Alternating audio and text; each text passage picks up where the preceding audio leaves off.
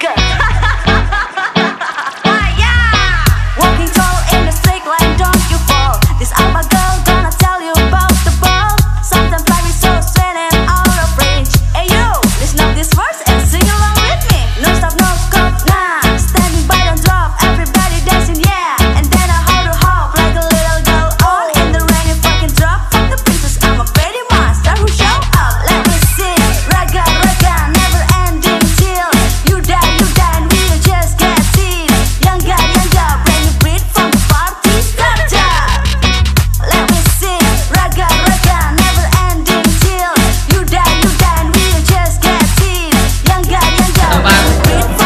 responnya teman-teman gambar semoga sukses ke depannya dan bisa bikin kafe buat diri.